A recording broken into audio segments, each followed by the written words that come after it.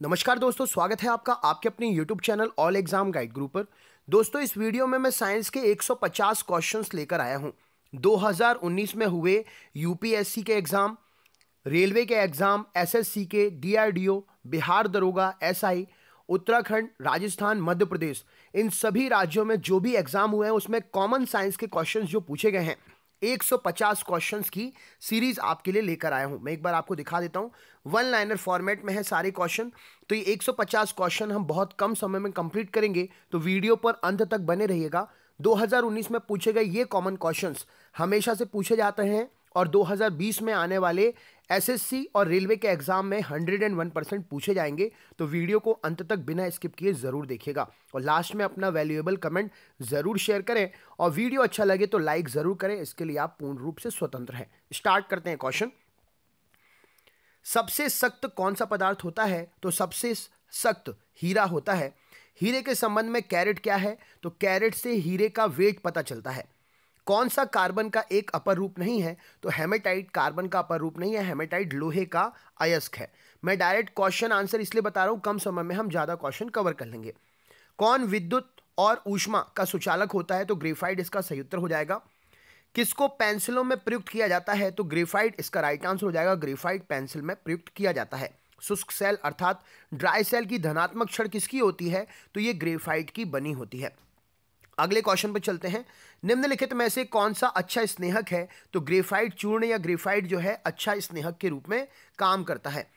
Nuclear reactor में प्रयोग किया जाने वाला विमंदक क्या है? तो ग्रेफाइट का उपयोग न्यूक्लियर रिएक्टर में विमंदक के रूप में करते हैं। अगले क्वेश्चन पर चलते हैं। रेडियो कार्बन डेंटिंग से किसका निर्धारण होता है? तो जीवाश्मों की आयु का निर्धारण रेडियो कार्बन डेंटिंग से होता है। कच्ची चीनी को रंग विहीन करने हेतु किसका प्रयोग किया जाता है? तो कच्ची चीनी को रंग विहीन करने के लिए एनिमल चारकोल का प्रयोग करते हैं। रक्त तप्त कार्बन पर जल वाष्प प्रवाहित करने पर कौन सी गैस प्राप्त होती है? तो जल गैस प्राप्त होती है। हीरे का जवाहरात के रूप में प्रयोग क्यों किया जाता है? तो हीरे का जवाहरात के रूप में प्रयोग उसके अपवर्तनांक गुण के कारण किया जाता है। कार्बोरेंडम निम्नलिखित में से किसका दूसरा नाम है? तो सिलिकॉन कार्बाइड का दूसरा नाम है कार्बोरेंडम। नेक्स्ट क्वेश्चन की तरफ़ चलते हैं।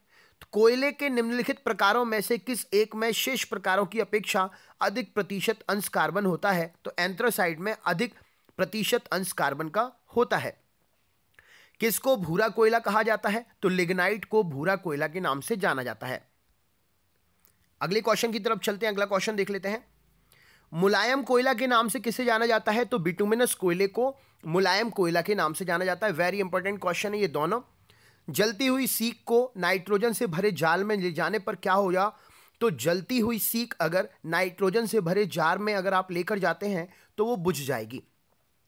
कृत्रिम गर्भाधान के लिए बैलों के वीर्य को किसमें रखा जाता है? तो द्रवित नाइट्रोजन में कृत्रिम गर्भाधान के लिए बैलों के वीर्य को रखा जाता है।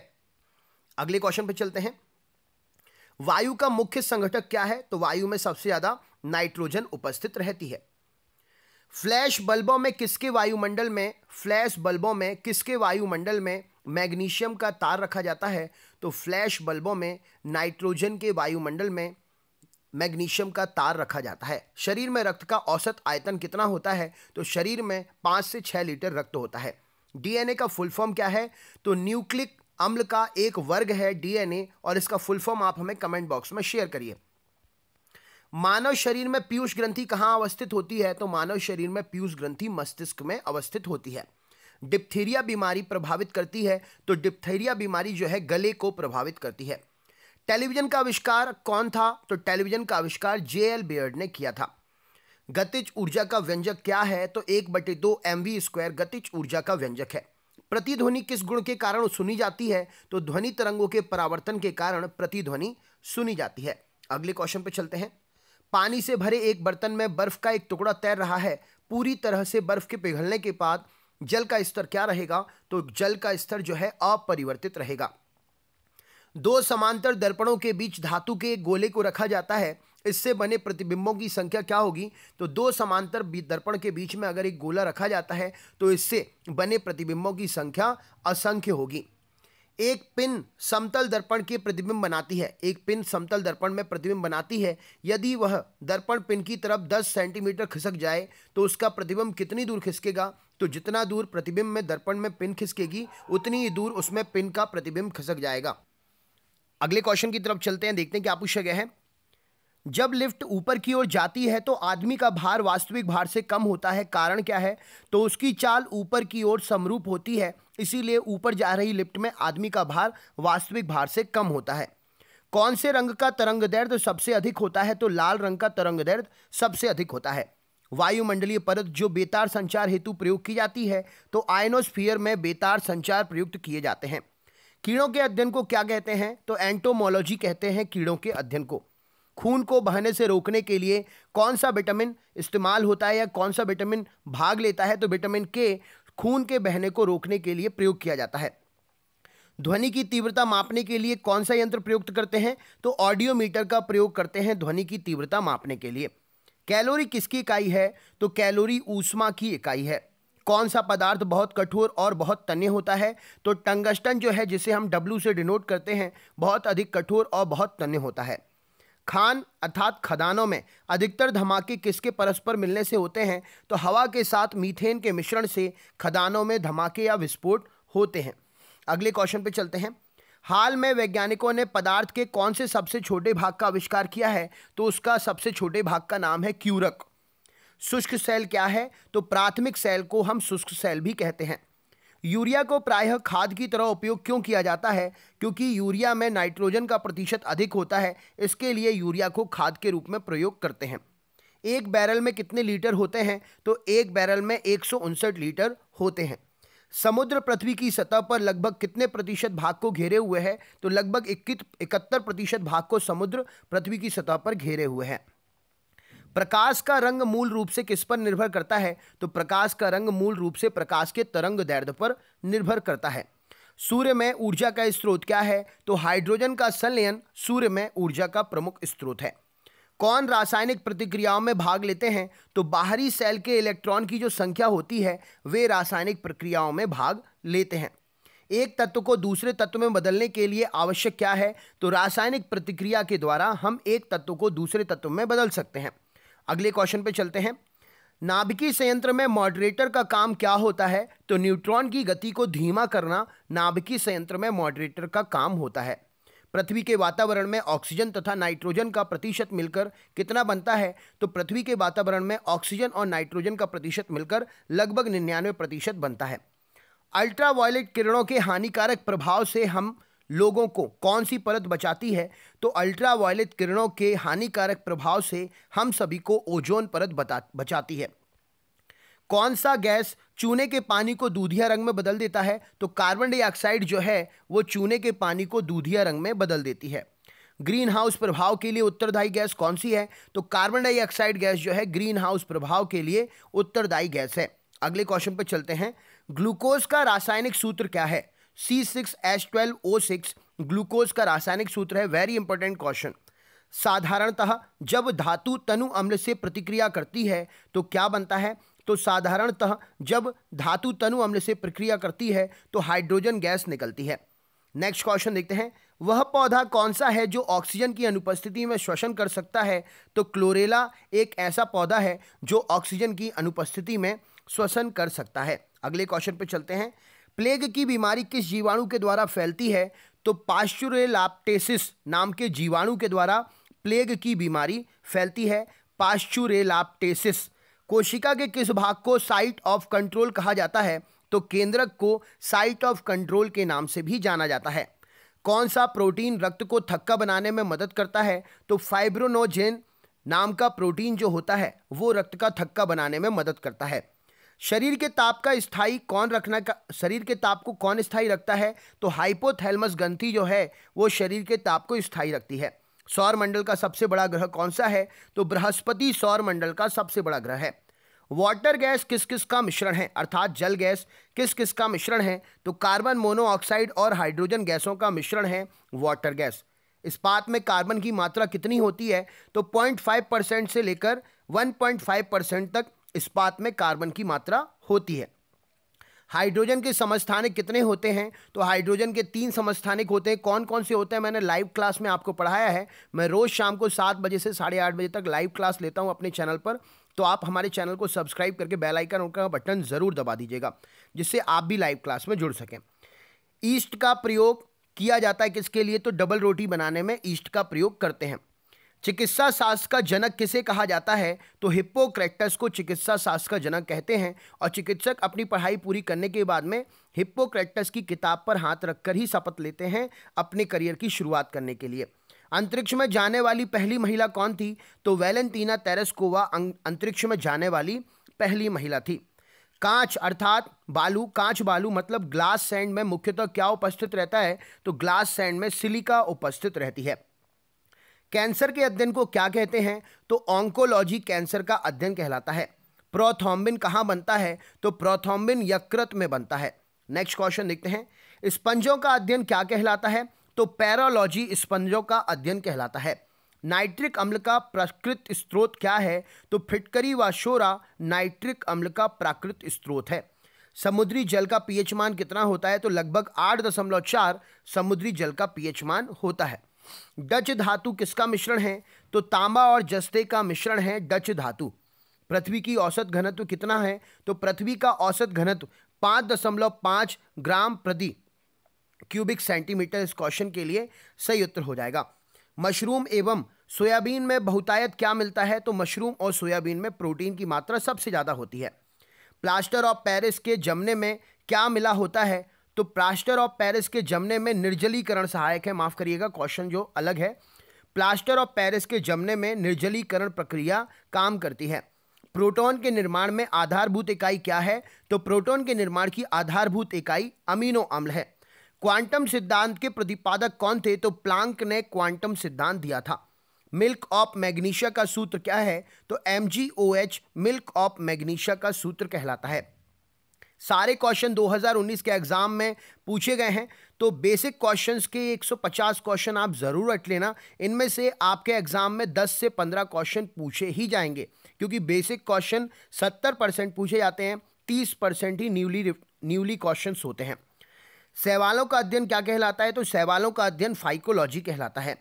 बुध ग्रह सूर्य की एक परिक्रमा करने में पृथ्वी के कितने दिनों के बराबर समय लेता है? तो बुध ग्रह सूर्य की एक परिक्रमा करने में पृथ्वी के अट्ठासी दिनों के बराबर समय लेता है। कोहरा बनने की संभावना कब ज़्यादा होती है? तो जब ठंडी धारा पर गर्म नमी युक्त हवा बहती है। ठंडी धारा मतलब ठंडी धारा पर गर्म नमी युक्त हवा बहती है, तब कोहरा बनने की संभावना प्रबल होती है। मानव गुर्दे में बनने वाली पृथ्वी में अधिक पथरी में अधिकतम मात्रा में क्या पाया जाता है? तो कैल्शियम ऑक्जिलेट पाया जाता है, जो मानव गुर्दा होता है, उसमें जो पथरी बनती है, उसमें कैल्शियम ऑक्जिलेट की अधिकता होती है। नर लैंगिक हार्मोन क्या है? तो टेस्टोस्टेरॉन नर लैंगिक हार्मोन कहलाता है। क्लोरोफिल में कौन सा धातु आयन पाया जाता है? तो क्लोरोफिल में मैग्नीशियम पाया जाता है। नेक्स्ट क्वेश्चन पे चलते हैं, अगला क्वेश्चन देखिए। आपसे पूछा गया है, टीबिया नामक हड्डी कहाँ पर पाई जाती है? तो पैर के निचले भाग में टीबिया नामक हड्डी पाई जाती है। प्रतिदीप्ति बल्ब में कौन सी गैस भरी जाती है? तो प्रतिदीप्ति बल्ब में मर्क्यूरिक ऑक्साइड और और एवं नियान, मर्क्यूरिक ऑक्साइड एवं नियॉन गैस का मिश्रण प्रतिदीप्ति बल्ब में भरा जाता है। डायनेमो का आर्मेचर किसका बना होता है? तो लौह चुंबकीय पदार्थ से डायनेमो का आर्मेचर बना होता है। डॉपलर प्रभाव किससे संबंधित है? तो डॉपलर प्रभाव ध्वनि से संबंधित है। प्रकाश का जल में वेग कितना होता है? तो दो दशमलव दो पाँच गुणित दस के ऊपर आठ की घात मीटर प्रति सेकंड प्रकाश का जल में वेग होता है। सबसे कम चालक धातु कौन सी है? तो शीशा अर्थात लेड सबसे कम चालक धातु है। टिन का लैटिन नाम क्या है? तो टिन को स्टेनम के नाम से डिनोट करते हैं। टिन का लैटिन नाम स्टेनम है। सर्वाधिक यौगिक बनाने वाली अक्रिय गैस कौन सी है? तो जीनॉन जो है आपकी सर्वाधिक यौगिक बनाने वाली अक्रिय गैस है। सबसे बड़ा जीवाणु किसमें होता है? तो साइकस में सबसे बड़ा जीवाणु होता है। विस्फोटी आरडीएक्स किस नाम से जाना जाता है? तो मार्केट में उसे टी फोर के नाम से जाना जाता है आरडीएक्स जो होता है। हाइड्रोफोबिया रोग किसके कारण उत्पन्न होता है? तो विषाणु के कारण उत्पन्न होता है हाइड्रोफोबिया रोग। प्राकृतिक गैस का मुख्य घटक क्या है? तो मीथेन जो है, प्राकृतिक गैस का मुख्य घटक है। विटामिन सी का सर्वोत्तम स्रोत क्या है? तो आंवला विटामिन सी का सर्वोत्तम स्रोत है। मानव शरीर में गुर्दे का प्रमुख काम क्या है? तो शरीर से बेकार द्रव्य को बाहर निकाला, निकालना मानव शरीर में गुर्दे का काम है। किसकी कमी से रतौंधी रोग होता है? तो विटामिन ए की कमी से रतौंधी रोग होता है। राइबोसोम पादप का भूमिगत प्रारूप क्या है? तो राइबोसोम पादप का भूमिगत प्रारूप तना है। चेचक के टीके का आविष्कार किसने किया था? तो एडवर्ड जेनर के द्वारा चेचक के टीके का आविष्कार किया गया था। शरीर में कुल कितनी हड्डियाँ होती हैं? तो शरीर में कुल टोटल 206 हड्डियाँ होती हैं। शरीर की सबसे लंबी हड्डी कौन सी है? तो फीमर जो है, जो कि जांग में उपस्थित होती है, जिसे उरु हड्डी भी बोला जाता है, शरीर की सबसे लंबी हड्डी होती है। शरीर में सबसे मज़बूत हड्डी कौन सी होती है? तो जबड़े की जो हड्डी होती है, शरीर की सबसे मज़बूत हड्डी होती है।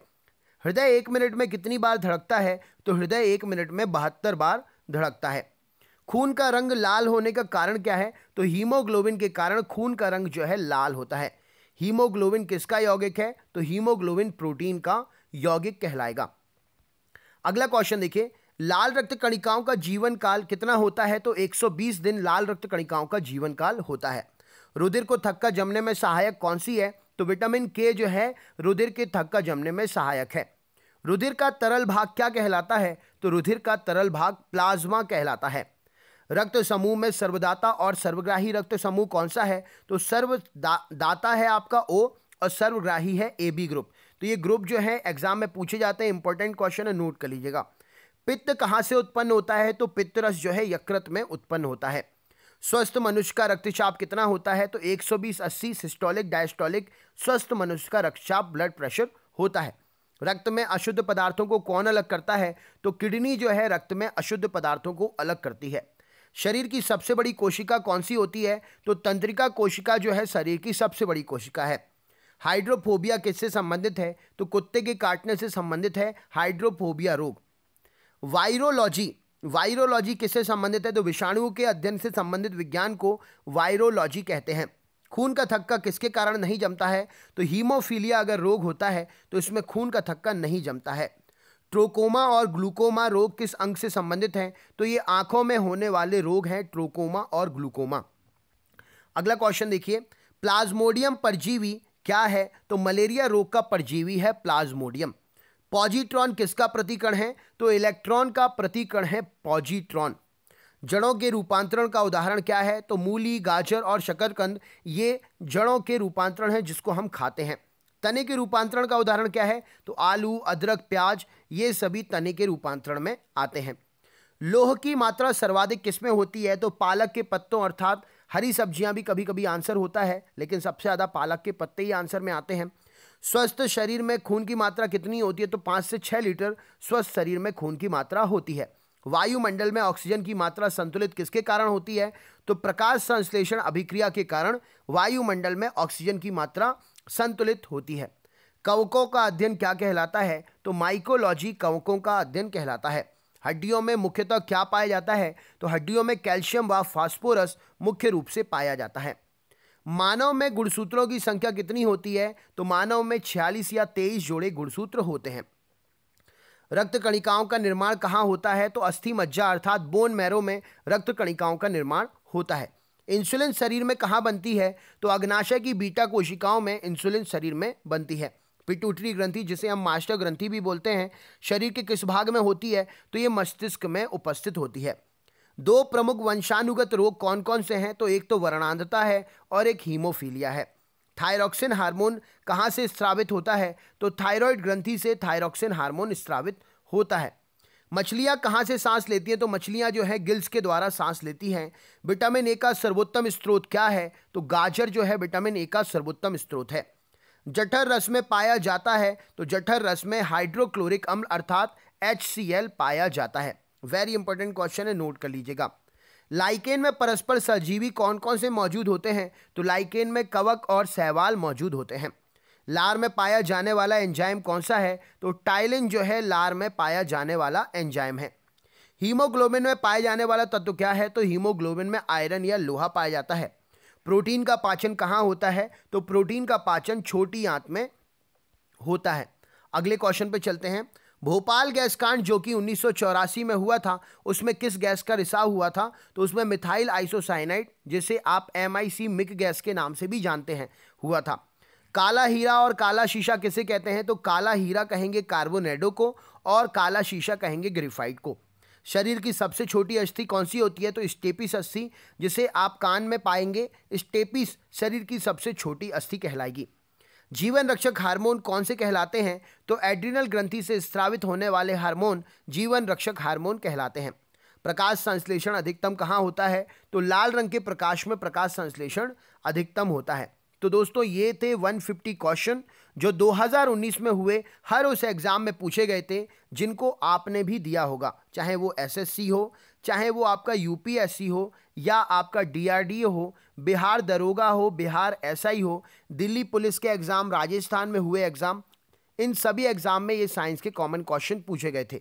तो दोस्तों, कैसा लगा वीडियो? कमेंट करके हमें ज़रूर बताएँ। कमेंट करके बताने के साथ साथ वीडियो की लिंक को ग्रुप्स में ज़्यादा से ज़्यादा शेयर करें, जिससे चैनल के इस वीडियो को और भी लोग देख सकें।